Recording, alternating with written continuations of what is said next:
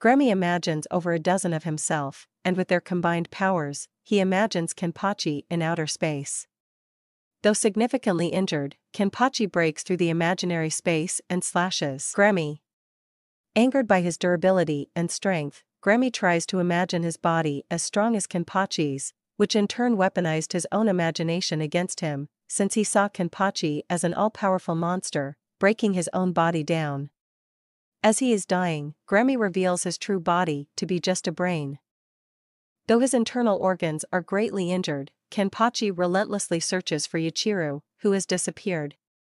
Then, he is set upon by Bambietta's squad, Sternritter T. Candace Catnip, Sternritter Z. Giselle Gawel, Sternritter P. Meninas McAllon and Sternritter G. Liltotto Lamperd. Though initially resisting, Kenpachi is overwhelmed by their combined power. Ichigo suddenly crashes down in, creating a hole leading to the Soul Palace and effortlessly tosses the four Stern Ritters away from Kenpachi. Soul Reapers and Stern Ritters alike are shocked by his entrance. Angered by Ichigo's status as a special war power along with Kenpachi, the four Stern Ritters activate their Vollständig to face Ichigo, but none can lay a hand on him.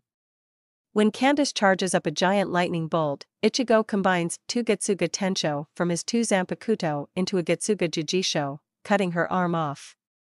Giselle uses a dead Soul Reaper's tissue to generate a new arm for her. When they try to regroup for another attack, Bazz-B uses Burner Finger 1 and shoots them all down to claim the glory of beating Ichigo for himself, but then three more Stern Ritters arrive. Surrounded 8 to 1, Ichigo tries to fly off to Yhwach, who is trying to use the hole the former created to invade the Soul Palace.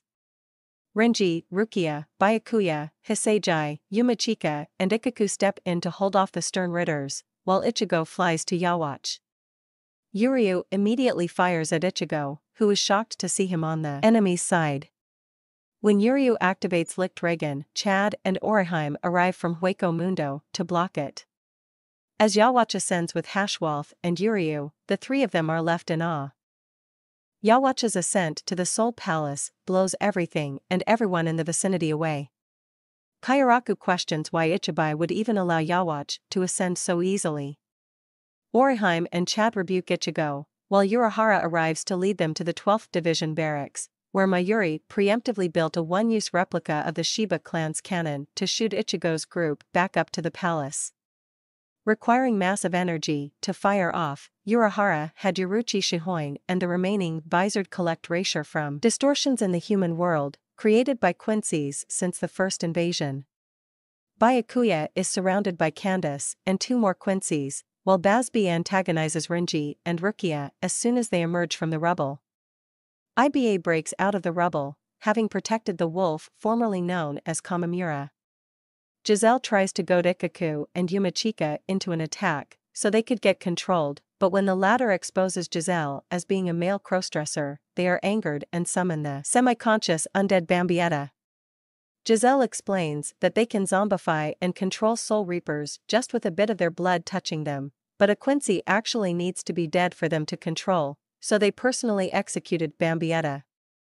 Unable to combat Bambietta's ability, the two are overwhelmed and about to be zombified until Mayuri and Nemu step in.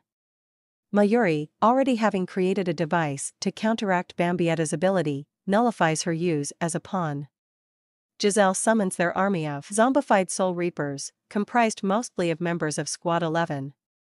Mayuri then reveals his very own pawns, the reanimated former Sexta Espada Luppi Antenor, the two Privaron Espada Dordoni Alessandro del Socaccio and Sorechi Sanderwicci, as well as Segunda Espada Berrigan Luzenbarons Frachen Charlotte Chuhlhourne, all retrieved by Mayuri from Octava Espada Szayelaporro Granz's lab.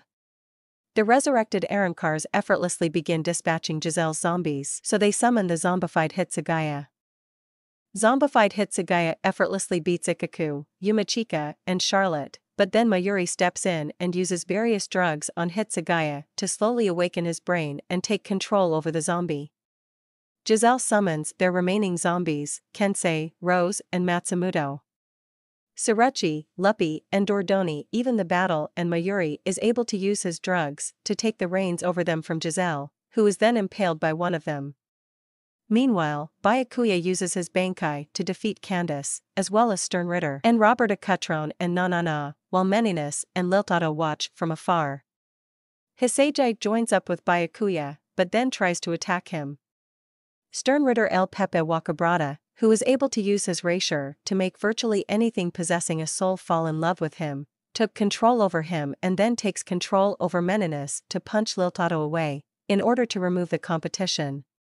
When Pepe uses his ability on Senbonzakura, the Zanpakuto turns against Byakuya as well and Hisagi begins wielding it. When Byakuya is cornered, Mayuri and the zombified Soul Reapers arrive, with Kensei using his Bankai to dispatch Pepe and knock out his own lieutenant. Pepe awakens among the rubble and tries to beg the approaching Liltotto to spare him, but she consumes him as revenge for his backstabbing. During this, in a post-credit scene, Yhwach, Haschwalth and Uryu arrive into the Soul Palace. In ancient times, Ichiban